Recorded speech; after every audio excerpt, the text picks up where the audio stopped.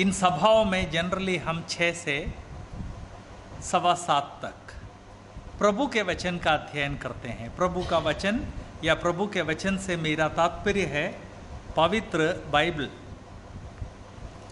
पवित्र बाइबल को लगभग 40 लेखकों ने डेढ़ हज़ार साल में लिखा था। इसको किसी एक व्यक्ति ने एक साथ नहीं लिखा है।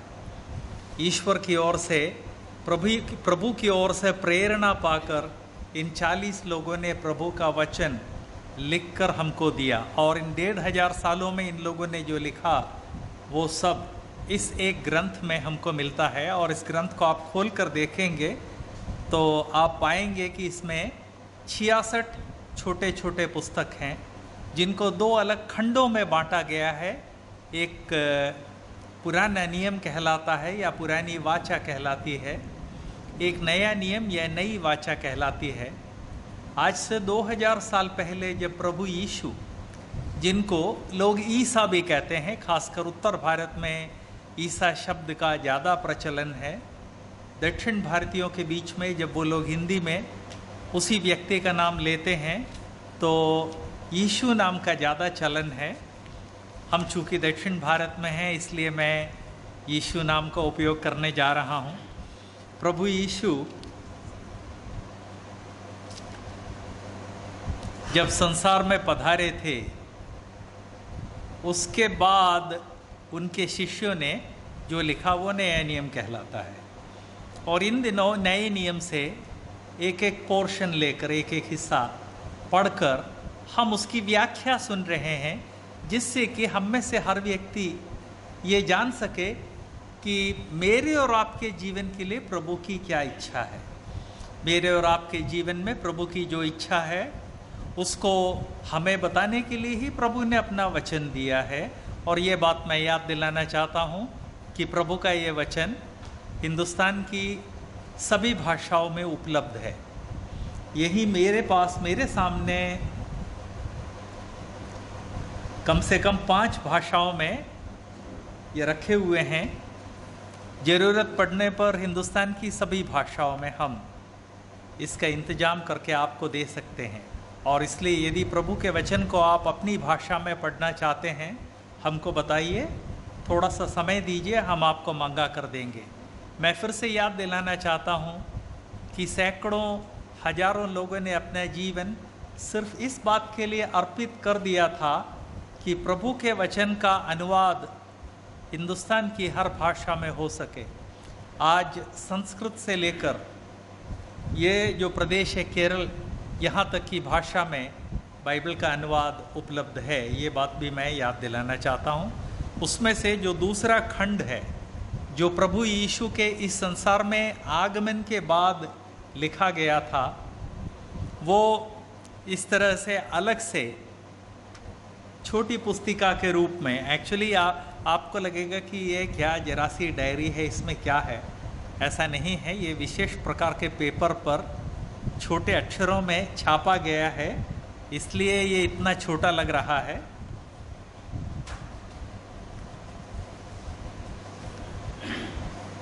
बाकी भाषाओं में जब सामान्य नॉर्मल साइज़ में जब प्रिंट किया जाता है तो ये इतना बड़ा होता है। लेकिन हर व्यक्ति सुविधा के अनुसार इसका पाठ कर सके, इसको हर जगह ज़रूरत पड़ने पर थैले में डालकर ले जा सके। इसके लिए ऐसे छोटे एडिशन में छापा गया है। और ये नया नियम जो है, आप हमसे गिफ्ट के रूप में ले जा सकते हैं। इसके लिए कोई पैसे की ज़रूरत नहीं है। ये जो कंप्लीट बाइबल है, इसके लिए एक मामूली सी कीमत देनी होगी। इस सभा में ऐसे कई भाई लोग हैं जो इस छोटे एडिशन के छापने और इसके वितरण के साथ जुड़े हुए हैं। ये भाई जिन्होंने अभी खड़े होकर अनाउंस किया था, उसके अलावा मुझे नहीं मालूम कौन कौन हैं, लेकिन वो सब इस संस्था से जुड़े हुए हैं, जो प्रभु के वचन को बहुत ही सुविधाजनक साइज़ में प्रिंट करके उपलब्ध करवाता है। और इसलिए अपनी ज़रूरत के लिए इसको ले जाना ना भूलें और मेरा अनुमान है कि उनके पास ऐसे संस्करण हैं जो बहुत ही सस्ते में हम खरीद कर अपने दोस्तों को बांट भी सकते हैं। तो इसलिए जहाँ तक प्रभु के वचन की बात है, उससे अज्ञान ना रहें। इस बात को कहकर आज मैं प्रभु के वचन से एक भाग पढ़ना चाहता हूँ। पिछले हफ़्ते मैंने ये बात बताई थी कि सामान्य ज्ञान या जनरल नॉलेज की कोई भी पुस्तक आप ले लें तो उस पुस्तक में ये पूछा जाता है कि फलाना दुनिया की सबसे ऊँची चोटी, पर्वत की चोटी कौन सी है? दुनिया में सबसे लंबी नदी कौन सी है? हिंदुस्तान के राष्ट्रपिता कौन है? इन सब का उत्तर हम सबको मालूम है। उसी के बीच एक प्रश्न जनरल नॉलेज की किताबों में पूछा जाता है कि जगत की ज्योति, संसार की ज्योति कौन है? और सभी जनरल नॉलेज की किताबों में उसका उत्तर है प्रभु यीशु। मज़े की बात यह है कि जनरल नॉलेज की इन पुस्तकों की रचना जिन लोगों ने की है या जो लोग करते हैं, वे प्रभु यीशु के अनुयायी नहीं हैं। लेकिन अनुयायी ना होते हुए भी उनको प्रभु के बारे में एक विशेष बात मालूम है कि प्रभु इस संसार की ज्योति हैं। आज मैं उस प्रभु के जीवन से एक छोटा सा हिस्सा पढ़ के सुनाना चाहता हूँ। एक्चुअली प्रभु की जीवनी चार लोगों ने, प्रभु के चार अनुयायियों ने लिखी है, जो इस पुस्तक के शुरू के चार बुक्स के रूप में हमको दिखता है। इन चार अनुयायियों ने प्रभु के जीवन को चार अलग अलग कोण से देखा।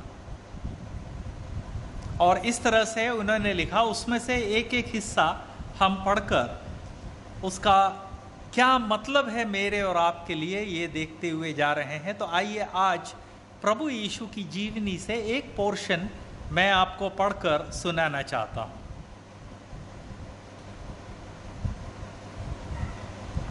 मत्ती रचित सुसमाचार, जिनके पास ये नहीं है, वो सिर्फ़ सुन लें, जिनके पास है, उनके पढ़ने के लिए मैं ये हवाला दे रहा हूँ, मती रचित सुसमाचार चौथे अध्याय के अठारह पद से मैं आपको पढ़कर सुना रहा हूँ।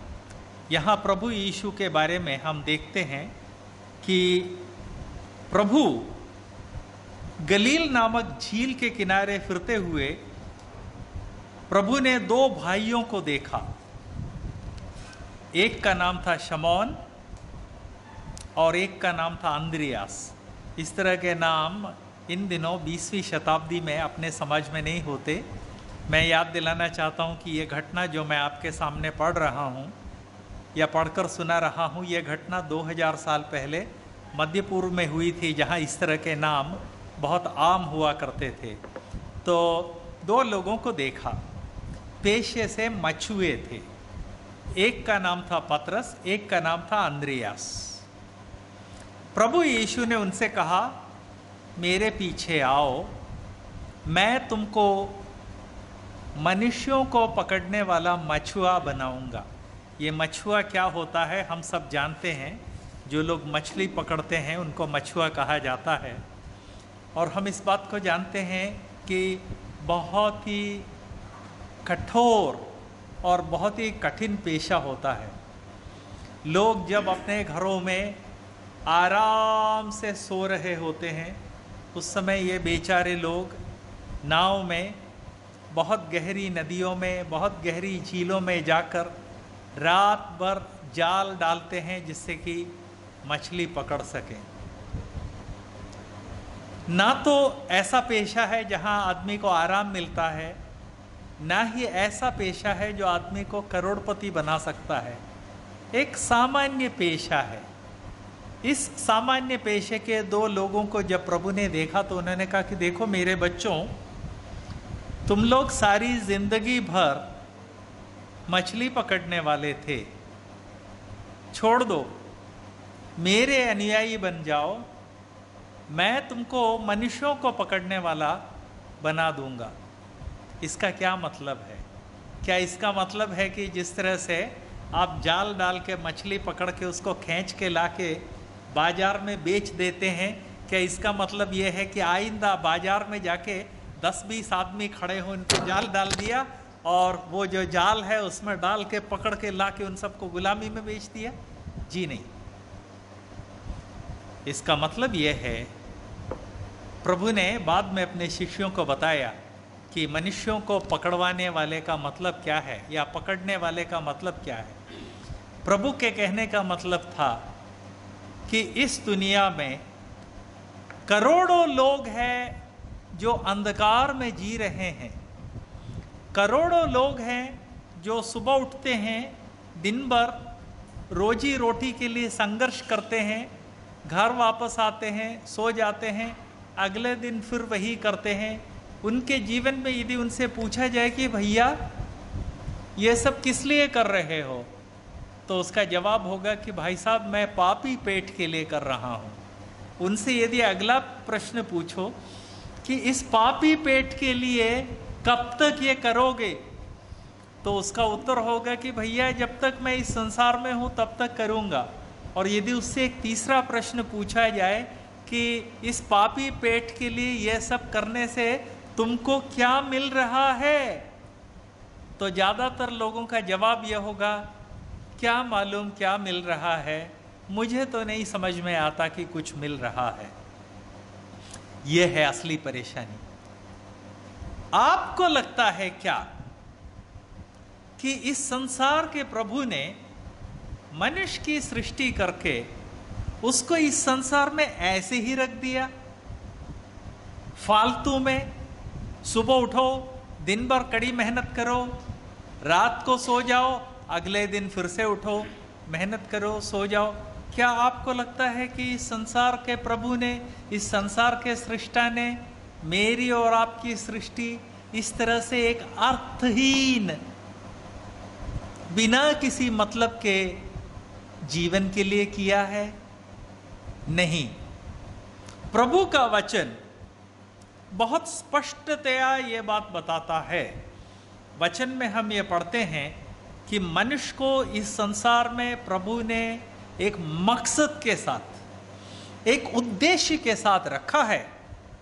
लेकिन ज़्यादातर लोग उस उद्देश्य को नहीं जानते, क्योंकि उन्होंने कभी भी पलट कर प्रभु से ये पूछने की कोशिश नहीं की कि, हे प्रभु, आपने मुझे इस संसार में भेजा।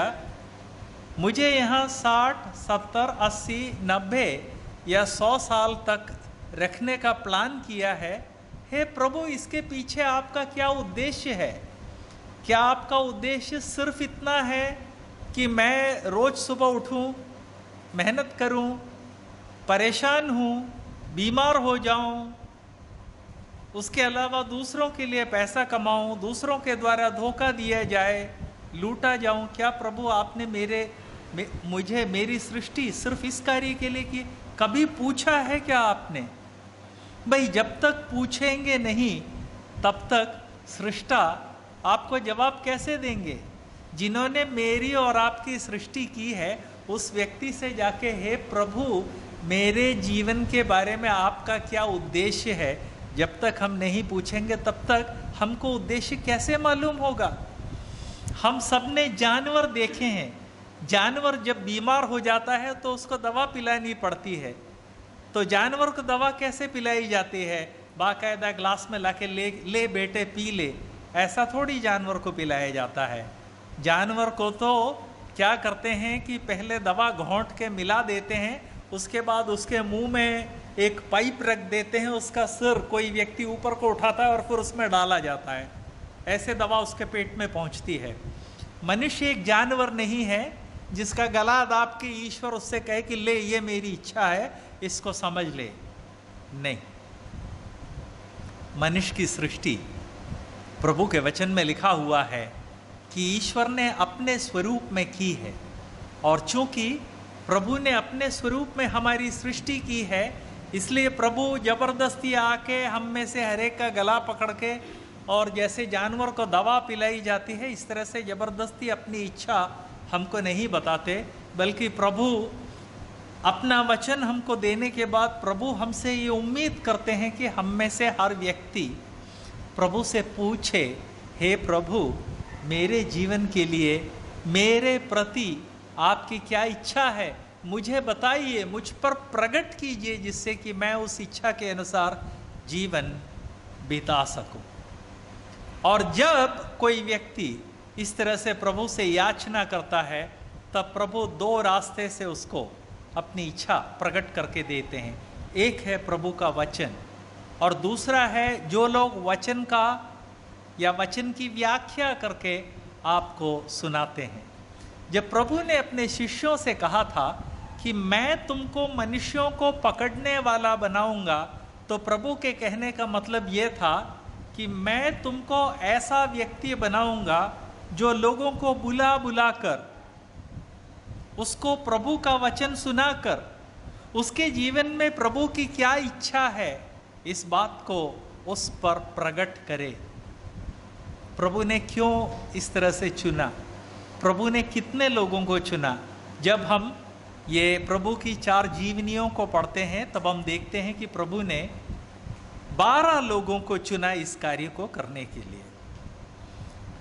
इसके अलावा प्रभु ने और भी लोगों को चुना था, लेकिन मुख्य रूप से बारह लोगों को चुना और उनसे कहा था कि मैंने तुमको इसलिए चुना कि तुम मेरी शिक्षाओं को सुनो, उसको जानो, उसको समझो और एक बार जब तुम उसको समझ लो तो जाकर लोगों को जिस तरह से जाल डालकर मछली पकड़ते हो, अब लोगों को पकड़ो।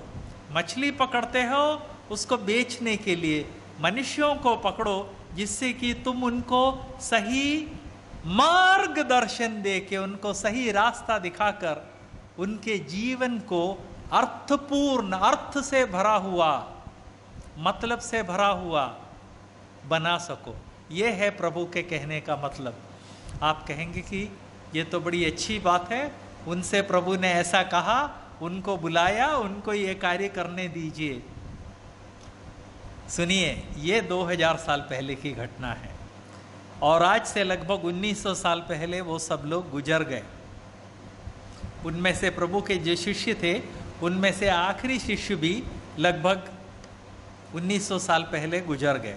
उनमें से 12 शिष्य जो थे, उनमें से एक शिष्य प्रभु का वचन लेकर, अभी मैं जो मत्ती का सुसमाचार नामक ग्रंथ पढ़ रहा हूँ आपको सुना रहा इस ग्रंथ की एक कॉपी लेकर हिंदुस्तान आए थे पचास ईस्वी में। वो भी गुजर गए। तो सवाल ये उठता है कि क्या इसके साथ साथ प्रभु ने अपने बच्चों को और अपने शिष्यों को जो ज़िम्मेदारी दी थी, वो ज़िम्मेदारी समाप्त हो गई क्या? उसका जवाब है, ज़िम्मेदारी समाप्त नहीं हुई है। प्रभु ने अपने सेवा कार्य के लगभग साढ़े तीन साल इन बारह लोगों को ट्रेनिंग दी थी, जिसमें से एक ने प्रभु को ही धोखा दिया। वो जाके आत्महत्या करके मर गया। प्रभु ने पहले से कहा था कि मैंने बारह चुना है, लेकिन उसमें से एक मेरे साथ नहीं है।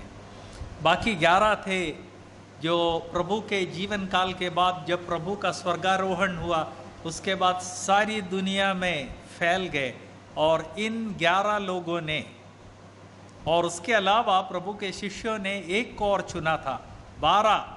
और उसके बाद प्रभु ने एक व्यक्ति को चुना था, तेरह। इन तेरह लोगों ने संसार के इतिहास को पूरी तरह से पलट दिया था। आप पूछेंगे कि, भाई साहब, आपके कहने का मतलब क्या है? जी, मेरे कहने का मतलब यही है कि संसार के पूरे इतिहास को इन तेरह लोगों ने पूरी तरह से पलट दिया था। एक उदाहरण, आजकल अपन कैलेंडर देखते हैं, सब जगह कैलेंडर टंगे हुए हैं। आज हम जानते हैं, ईस्वी 2017 है। ईस्वी 2017 का मतलब क्या है? प्रभु यीशु इस संसार में पधारे थे, उनके पधारने के दिन से आज 2017 साल हो गए हैं। उसके पहले के डेट्स अपन किस तरह से कैलकुलेट करते हैं? ईसवी पूर्व। आज से ईसवी पूर्व एक हज़ार में ये घटना हुई। मतलब आज से तीन हज़ार सत्रह साल पहले। या ईसवी पूर्व दो हज़ार साल में ये घटना हुई। संसार के इतिहास को ही दो भागों में प्रभु यीशु के आगमन ने बांट दिया है। क्योंकि प्रभु के ये जो तेरह शिष्य थे, इन्होंने सारी दुनिया में जाकर ये संदेश जो प्रभु ने उनको सुनाया था, ये संदेश सुनाया। उसके पीछे जो प्रिंसिपल था, जो शाश्वत सत्य था, वो सत्य यह है कि मैंने तुमको इसलिए बुलाया है कि तुम सारी दुनिया में जाकर लोगों को मेरे लिए पकड़ो। जिस तरह से मछली को बेचने के लिए पकड़ा जाता है, वैसे नहीं। पकड़ पकड़ कर मेरे पास लाओ, जिससे कि मैं उनको एक नया जीवन और एक अनुग्रह दे सकूँ। यह है प्रभु के कहने का मतलब। प्रभु, इस संसार से जब स्वर्गारोहण करके चले गए, उसके पहले प्रभु ने एक बात कही थी, जो उसके बाद प्रभु के शिष्यों ने भी बार बार लोगों को बताई, और वो बात यह है ये है अभी तक इतनी पृष्ठभूमि कहने के बाद जो बात मैं अब आपसे कहना चाहता हूँ, वो बात यह है, मेरे प्रिय भाई, मेरी प्रिय बहन, आपका, आपकी उम्र कितनी भी क्यों ना हो, आपका पेशा कुछ भी क्यों ना हो, प्रभु ने आपको एक ज़िम्मेदारी दी है जिससे कभी भी भागने की कोशिश ना करें। यहाँ जितने लोग बैठे हुए हैं, चाहे बच्चे हों, बड़े हों जवान हो, बूढ़े हों, उन सबको प्रभु बुलाकर उनसे कहते हैं कि देखो, तुम फलाना काम कर रहे हो, करते रहो, लेकिन उसके साथ साथ मेरे लिए मनुष्यों को पकड़ना तुम्हारी ज़िम्मेदारी है। इन लोगों से प्रभु ने कहा था कि आओ, मेरे पीछे आओ, लेकिन मछली पकड़ने से इनको पूरी तरह से वर्जित नहीं किया था। ये बात भी मैं याद दिलाना चाहता हूँ। जब प्रभु को चुंगी देने का समय आया। आजकल चुंगी उंगी कहीं नहीं देनी पड़ती है, लेकिन आज से 50 साल पहले हिंदुस्तान में ये स्थिति थी कि आप कहीं भी चले जाएँ, आपको चुंगी देनी पड़ती थी। यहाँ, ये एर्नाकुलम, यहाँ से 25 किलोमीटर दूर अंगमाली नाम की जगह है। यहाँ से जब लोग नारियल अंगमाली में ले जाते थे तो उनको टैक्स देना पड़ता था। पुराने ज़माने में हर जगह चुंगी के पोस्ट बने रहते थे। आपने यहाँ नाम सुना होगा, एक जगह है जिसका नाम है एड़पल्ली टोल। टोल का मतलब है वो जगह जहाँ चुंगी दी जाती है। राजे महाराजाओं के समय वहाँ पर चुंगी वसूल करते थे। तो जब प्रभु यीशु अपने शिष्यों के साथ घूम फिर रहे थे तो एक जगह चुंगी देने का जब समय आया तो प्रभु ने अपने शिष्य पत्र से कहा, जाओ मछली पकड़ो। और जो पहली मछली तुम्हें मिले, उसका मुँह खोलना, उसमें तुमको एक सिक्का मिल जाएगा। वो सिक्का तुम टैक्स के रूप में दे दो। तो प्रभु ने अपने शिष्यों को, उनको बुलाया ज़रूर था, लेकिन उनके पेशे से रोका भी नहीं था। ये बात मैं आपको याद दिलाना चाहता हूँ। जो हम सबको ये बात याद दिलाता है कि प्रभु, हम सबसे ये उम्मीद करते हैं कि जब हम में से हर व्यक्ति अपने अपने पेशे में रहे उस पेशे में रहकर भी, उस नौकरी में रहकर भी जीवन भर हमारी ज़िम्मेदारी है कि हम जा जाकर लोगों को पकड़ें और प्रभु के पास लाएँ, जिससे कि वे लोग प्रभु के द्वारा दिए जाने वाले उस नए जीवन को जान सकें और उस नए जीवन को जान कर वे अपने जीवन में मुक्ति पा सकें। और मुक्ति पाने के बाद हमारी ज़िम्मेदारी समाप्त हो जाती है क्या? नहीं। प्रभु ने आज जिन शिष्यों को बुलाया था, उसमें पहले का नाम था पत्रस। प्रभु ने अपने स्वर्गारोहण से पहले पत्रस को बहुत स्ट्रिक्टली ये बात याद दिलाई थी, तीन बार पत्रस बड़ा दुखी हो गया था। क्योंकि प्रभु ने पत्रस से तीन बार एक प्रश्न पूछा था। उसने कहा कि, हे प्रभु, आप मेरा दिल जानते हैं, मुझसे ये तीन तीन बार पूछने की क्या ज़रूरत है?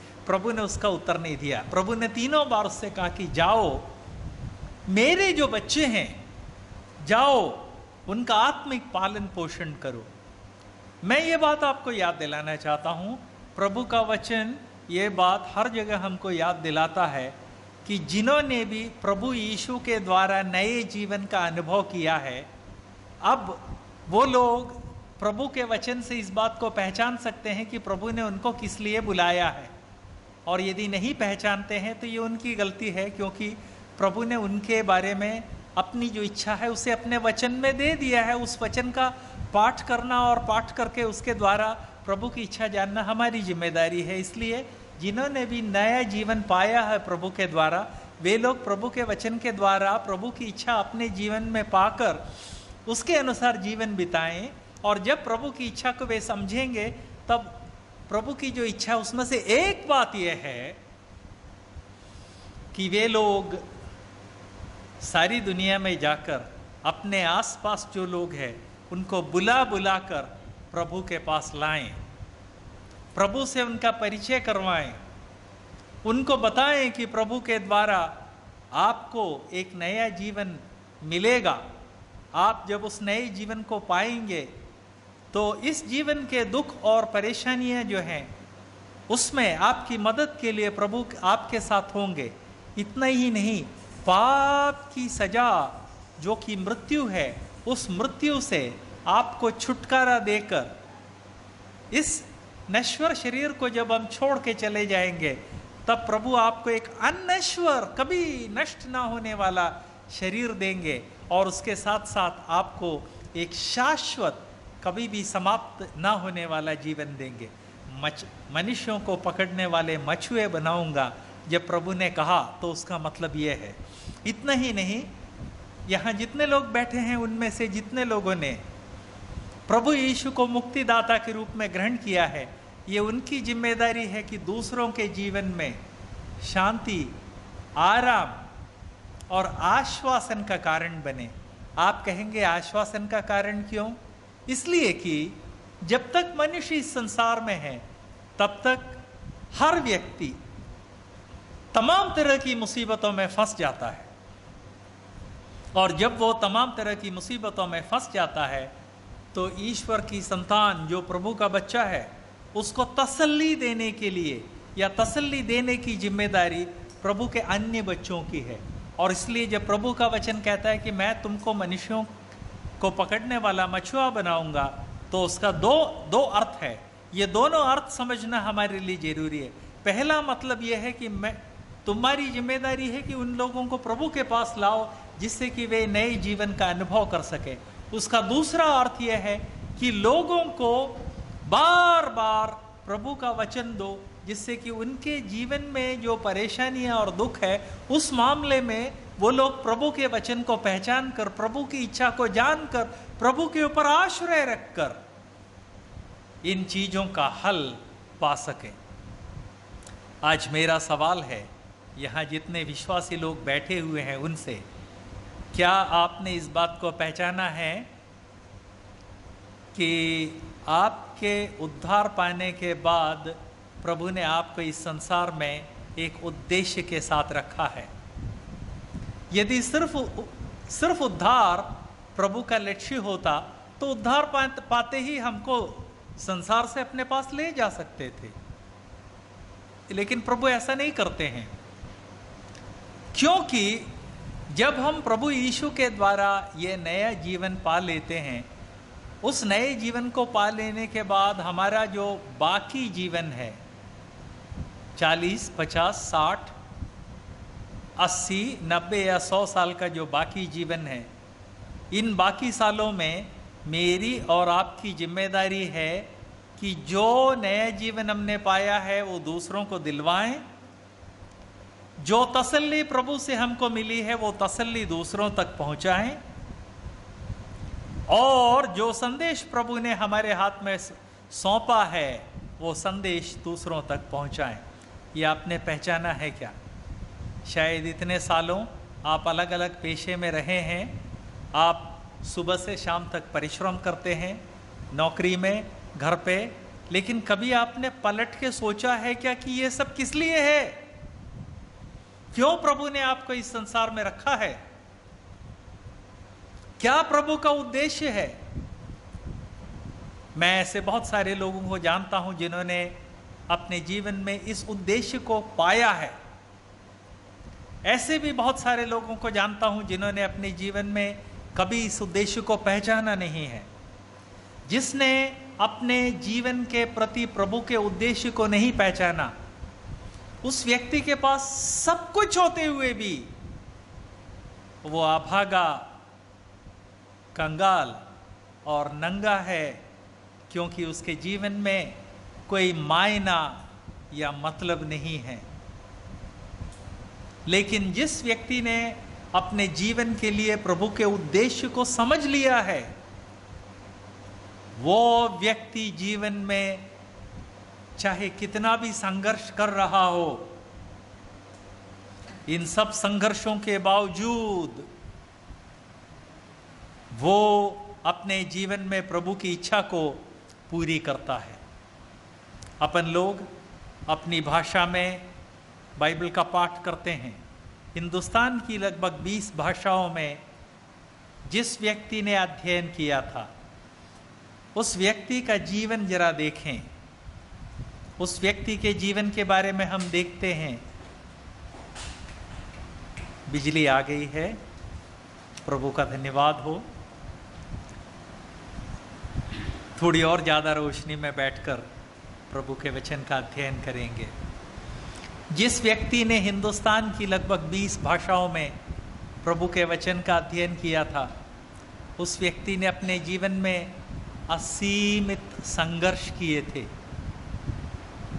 उसकी वाइफ बीमारी से पीड़ित, लगभग पूर्ण रूप से पागल हो गई थी।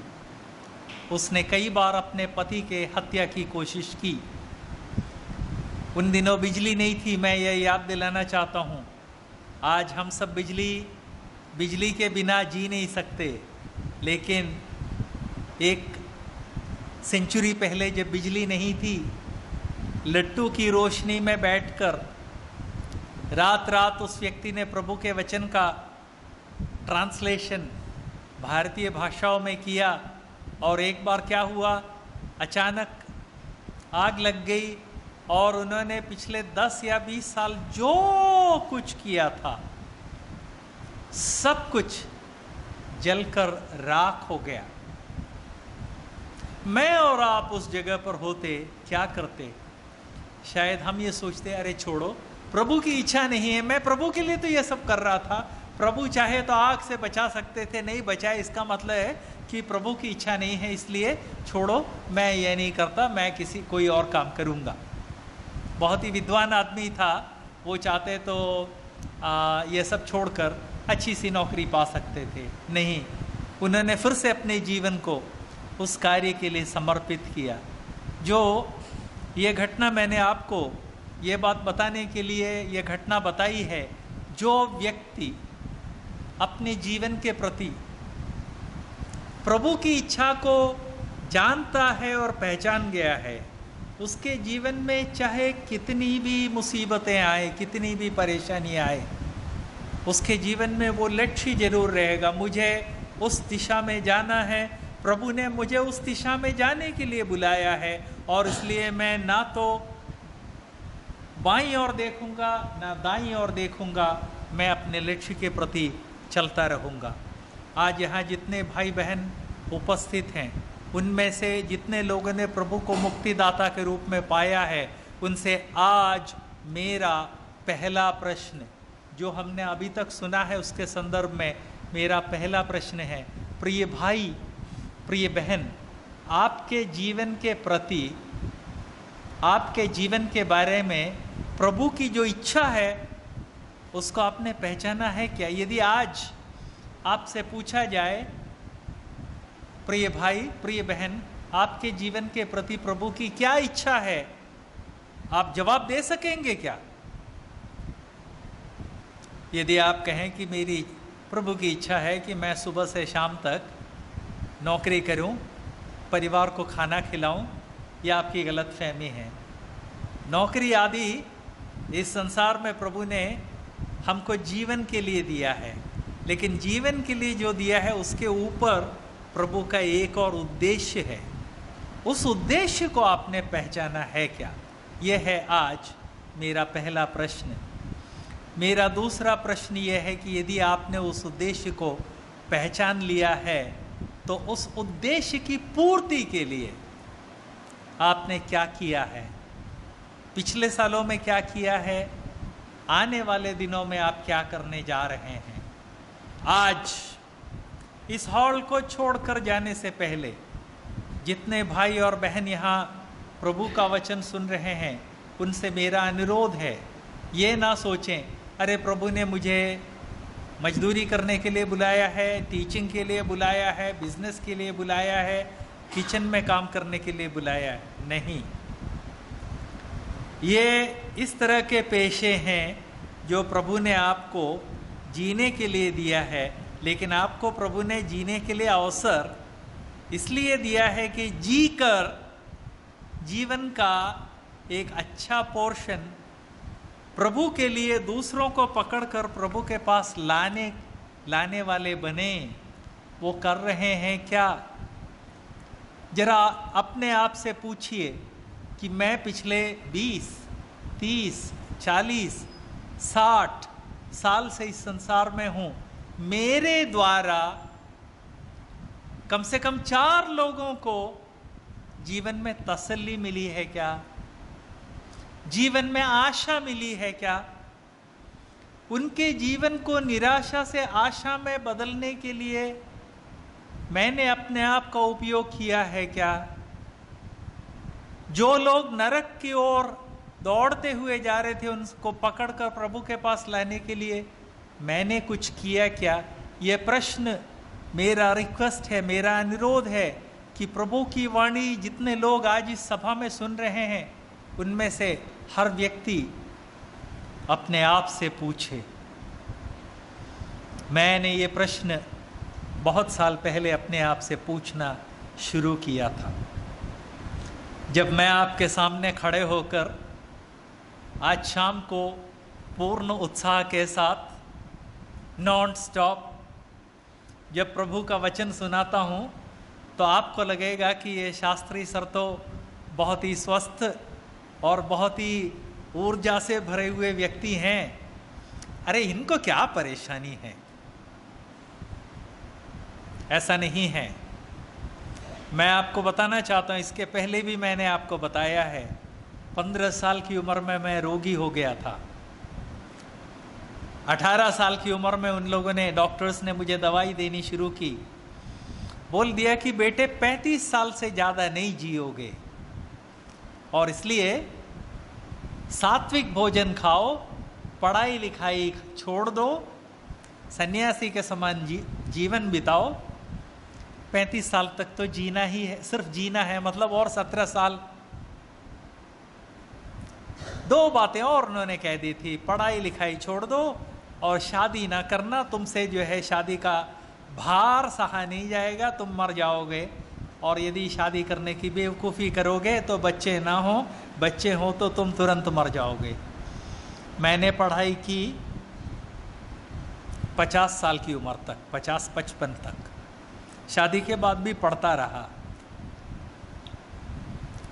दो बच्चे भी हुए और ऐसे बच्चे कि आपकी सारी एनर्जी उनमें खप जाए। क्यों? क्यों? सवाल यह है कि मैंने क्यों पढ़ाई नहीं त्यागा? मैंने क्यों नौकरी की? मैं क्यों जीवन के हर पहल आगे बढ़ा? इसके पीछे कारण है।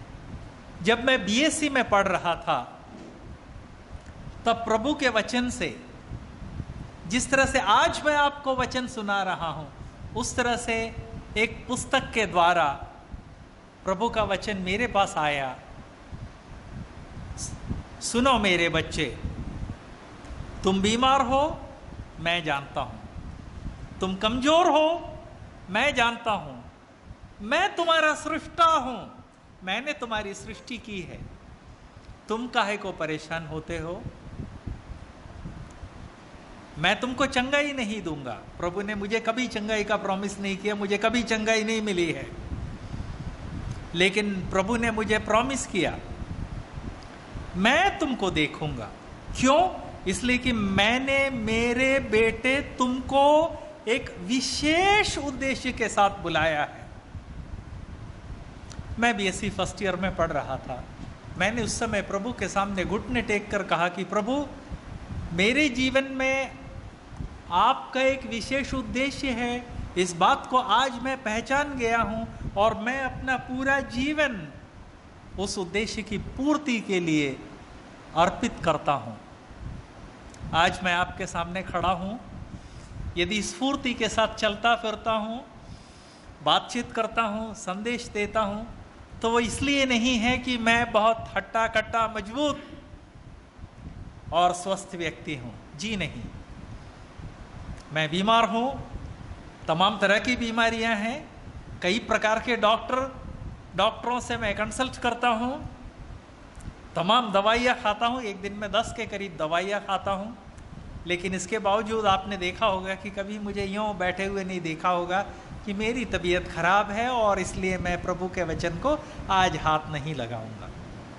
हाँ जिस दिन बिस्तर से उठ नहीं पाता तीन महीने में कभी कभी एक ऐसा अवसर आता है, एक दिन आता है, जब मैं बिस्तर से उठ नहीं पाता तो उस दिन ज़रूर विश्राम करता हूँ, बाकी सब दिन मैं दौड़ भाग करता हूँ। क्यों?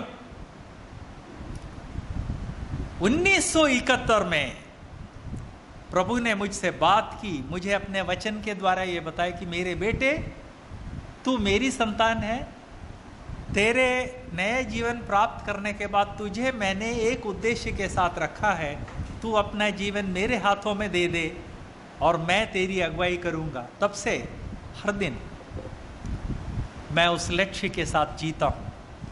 ओ, आप कहेंगे तो शास्त्री सर, आप परफेक्ट हो गए क्या? देखिए, यदि मैं परफेक्ट हो गया होता तो प्रभु ने मुझे कभी उठा लिया होता कि बेटे तू वहाँ उन लोगों के बीच में ना रह। परफेक्शन पूर्णता कभी हमारे जीवन में नहीं है। लेकिन हाँ मुझे 1971 से ये बात स्पष्ट मालूम है कि प्रभु ने मुझे किस लिए बुलाया है।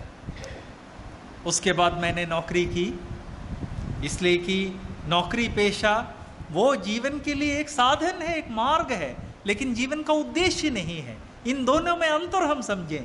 जो जीवन का साधन है और जी, जो जीवन का उद्देश्य है। साधन के रूप में मैंने नौकरी की, उद्देश्य के रूप में प्रभु ने मुझे जिस बात के लिए बुलाया, उसके प्रति समर्पण के साथ आज भी मैं जी रहा हूँ। मैं इस बात को याद दिलाना चाहता हूँ। हर सुबह जब मैं उठता हूँ तो भयानक दर्द के साथ उठता हूँ। शरीर कहता है कि लेटे रहो लेटे रहो लेटे रहो तुमको कौन सी नौकरी के लिए जाना है? तुम्हें कौन? अब बच्चे पालने हैं। तुम्हारे बच्चे तो अपने पैरों पे खड़े हो गए हैं। इसलिए घंटे भर और लेट लो बच्चे। लेकिन अक्सर, हमेशा तो नहीं उठ पाता। शरीर कमज़ोर है तो। लेकिन अक्सर, इन सब दुख और दर्द के बावजूद, ज़बरदस्ती मैं सुबह उठकर अपने कामों में लग जाता हूँ। किन कामों में? मुझे जिन बातों के बारे में मालूम है कि प्रभु ने मुझे बुलाया है। किन बातों के लिए बुलाया है? वो कभी और बात करेंगे। मुझे किसी और बात के लिए बुलाया? आपको किसी और बात के लिए बुलाया किस बात के लिए प्रभु ने बुलाया है? किस उद्देश्य के लिए बुलाया है? इसको समझकर काम कीजिए। ऐसा करेंगे तो शारीरिक कमज़ोरी, मानसिक कमज़ोरी आर्थिक कमज़ोरी, जीवन की परेशानियाँ, सामाजिक परेशानियाँ, इन सब के बावजूद आप अपना जीवन, एक अर्थपूर्ण जीवन बिता सकेंगे। और इसलिए एक बार और मैं जितने भाई यहाँ बैठे हैं और जितनी बहनें प्रभु की वाणी सुन रहे हैं, उनसे पूछना चाहता हूँ, क्या आपके जीवन में ऐसा क्षण आया है जब आपने इस बात को महसूस किया कि प्रभु ने आपको किस बात के लिए बुलाया है? किस लक्ष्य के लिए बुलाया है? यदि नहीं तो आज घुटने टेक कर प्रभु से याचना कीजिए कि आपके जीवन का लक्ष्य आपको प्रभु प्रकट करके दें। हाँ इस सभा में ऐसे कुछ भाई और बहन भी मौजूद हैं, जिन्होंने आज तक प्रभु यीशु को मुक्तिदाता के रूप में ना तो ग्रहण किया है ना पहचाना है। उन लोगों से मेरा एक अनुरोध है, मेरे प्रिय भाई, मेरी प्रिय बहन, मैंने अपने जीवन में प्रभु का लक्ष्य इसलिए पहचाना कि आज से बहुत साल पहले मैंने प्रभु को मुक्तिदाता के रूप में ग्रहण किया और प्रभु का बच्चा, प्रभु का संत, प्रभु की संतान बन गया। यदि ये अनुभव आपके जीवन में नहीं हुआ है तो मेरा अनुरोध है प्रिय भाई प्रिय बहन प्रभु को मुक्तिदाता के रूप में ग्रहण करें। आप कहेंगे कि आ, भाई साहब ये प्रभु को मुक्तिदाता के रूप में ग्रहण करने का क्या मतलब है? आज इस सभा के बाद हम थोड़ा चाय पानी के लिए समय निकालेंगे। उस समय मेरे पास आइए। मैं ये बात आपको समझा दूँगा। भाई जेफरी भाई क्रिस्टी वो भाई मैथ्यूस जो यहाँ पर गाने में अगुवाई कर रहे थे, पीछे चले गए हैं। उसके अलावा वो पीछे बैठे हुए भाई बर्नबास, भाई संतोष। उनसे जरा पूछ कर देखिए कि प्रभु यीशु को मुक्तिदाता के रूप में ग्रहण करने के बाद जीवन में किस तरह से खुशी और शांति आती है। तो यहाँ जब इतने सारे लोग और भी हैं, मैंने थोड़े से नाम बताए हैं, और भी हैं सब लोग हिंदी में नहीं बता सकते, लेकिन ये जितने मैंने नाम लिए हैं, ये हिंदी में आपको बता सकेंगे। बहनों में से भी कई हैं जो हिंदी में ये बातें आपको समझा सकती हैं। मैंने इतने लोगों के नाम इसलिए लिए जिससे आप इस बात को याद रखें कि हम ये संदेश देकर आपको यहाँ से खाली हाथ नहीं भेजना चाहते। हम चाहते हैं कि प्रभु यीशु इस संसार में पापियों को मुक्ति देने के लिए पधारे थे और उस मुक्ति को बिना पाए आप इस हॉल से ना जाएँ। उस मुक्ति को पा लीजिए। जब मुक्ति को पालेंगे, तब प्रभु आपको ये बताएँगे कि आपके जीवन का असली उद्देश्य क्या है। और जब असली उद्देश्य आप पालेंगे तो आपका जीवन अर्थ से भर जाएगा मतलब से भर जाएगा। आपके जीवन में एक मतलब एक अर्थ, एक लक्ष्य आ जाएगा। उस लक्ष्य की पूर्ति के लिए आप अपना जीवन बिता सकेंगे। आज प्रभु ने इस तरह से एक साथ एकत्रित होकर प्रभु के वचन को सुनने के लिए हम सबकी मदद की, उसके लिए मैं प्रभु का शुक्रगुजार हूँ। प्रभु, आप सबके साथ रहें, आप सबकी मदद करें। जय मसीह की।